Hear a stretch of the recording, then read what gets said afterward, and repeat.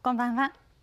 今回の光る大津は環境美琶湖を守る大切な存在をテーマにお送りします。そこで大津市環境部環境政策課新田真一郎さん池田瑞穂さんにお話をお伺いします。よろしくお願いします。よろしくお願いします。今回のテーマ環境ということですが何についてお話をしてくださるんでしょうか？こちらです。よし私たちはこのよしを守るための活動を行っています、はい、滋賀県の方なら琵琶湖の湖岸でこのようなよしを見かけたことも多いと思いますが森田さんはご存知ですか？もちろん知っています。さすがです。ではよしについてのクイズを出しますのでお答えください。わかりました。ご覧の皆さんもぜひ一緒にお考えください。最初の問題です。よしは成長するとどこまで大きくなるでしょうか？そうですね。結構大きくなるイメージがあるので1メートルいや人の身長くらいですか？正解はこちら。今手元にあるのは2メートル。大きいものだとさらにその倍の4メートルにもなります、えー、4メートルまで成長するものもあるんですね。そうなんです。では続いての問題です。ヨシはいろいろな環境を守る力を持っていますではこの中でどのような動き働きをしていると思いますか？1花粉をすべて吸収してくれる。2琵琶湖をきれいにしてくれる。3外来魚を退治してくれる。どれでしょうか？うん2の琵琶湖をきれいにしてくれるですか？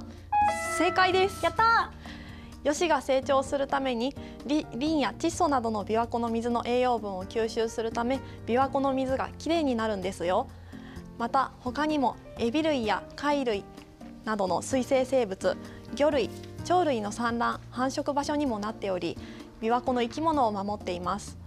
さらには波を弱め岸辺の土の侵食も防ぎ湖岸も守っているんです。うん。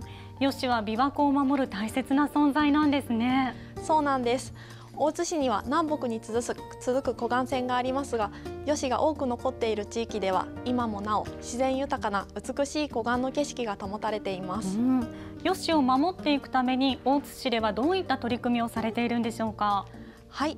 市民の皆さんと一緒に1990年から湖辺ルネッサンス大津の吉作戦と名付け毎年吉狩りを行っています、はい、冬に地上の枯れ吉を刈ることは春の新芽に活力を与え保護育成に効果があると言われています残念ながら昨年度と今年度は新型コロナウイルスの影響で開催することができませんでしたが例年では300名程度の方にご参加いただいています。毎年皆さんのおかげで自然豊かな琵琶湖の環境が保たれています。また刈り取った吉で吉束を作り一斉点火する吉松明としても利用しています、うん、皆さんのおかげで琵琶湖の環境が守られているんですね。市民吉狩りはどなたの方どなたでもご参加いただけますのでご興味のある方はぜひ来年の吉狩りにご参加いただければと思います。詳しくは大津市のホームページをご覧ください。わかりました。ぜひご参加いただきたいと思います。